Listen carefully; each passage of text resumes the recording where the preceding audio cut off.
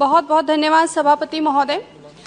महोदय, शिक्षा व्यक्ति के व्यक्तित्व का ही विकास नहीं करती, बल्कि उसे पुरातन व रूढ़ मान्यताओं के गहरे भंवर से निकालकर प्रकाश की ओर भी ले जाती है।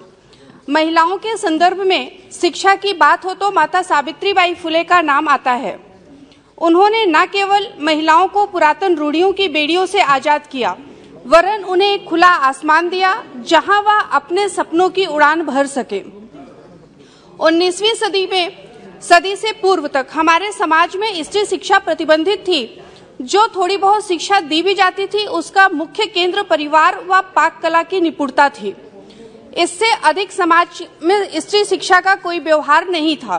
कहा जा सकता है कि भारतीय समाज में स्त्री चेतना का स्वर 19वीं सदी के सुधारवादी आंदोलन से आना प्रारंभ होता है। महोदय सावित्रीबाई फुले महिलाओं के लिए आशा की किरण थी।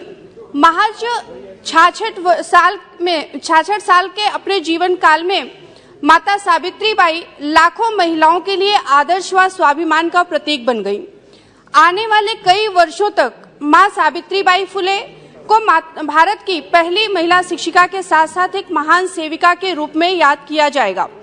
पूर्व में महोदय, मैंने माता सावित्रीबाई फुले जी की जयंती को महिला शिक्षक दिवस के रूप में मनाए जाने की मांग की थी, जिसका जवाब माननीय मंत्री जी के द्वारा लिखित रूप से दिया गया कि 5 सितंबर डॉक्टर सर्वपल्ली राधाकृष्णन की जयंती को शिक्षक दिवस के रूप में मनाया जाता है, इसलिए यह संभव नहीं है। महोदय, मैं आपके माध्यम से बताना चाहती हूँ कि मेरी मांग यह नहीं थी कि 5 सितंबर की जगह 3 जनवरी को शिक्षक दिवस मनाया जाए, बल्कि मेरी मांग यह थी कि माता सावित्रीबाई फुले, जिन्हें आधुनिक भारत में एक ऐसी महिला के रूप में भी श्रेय दिया जाता है, जिन्होंने ऐसे समाज में जब महिलाओं को पूर्ण आज़ादी उपलब्ध नहीं थी और वे उपमानों के अस्तित्व में जी रही थी, तब माता सावित्रीबाई फुले ने स्वयं की आवाज़ को बुलंद किया और महिला अधिकारों के लिए संघर्ष किया। आज महिलाएँ हर क्षेत्र में आगे हैं और आगे बढ़कर समाज में अपनी उपस्थिति दर्ज कर रही हैं।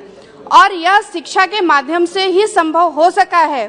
शिक्षा ने स्त्रियों को उनके अधिकार दिए, उनकी सुरक्षा के लिए बुलंद हौसले दिए।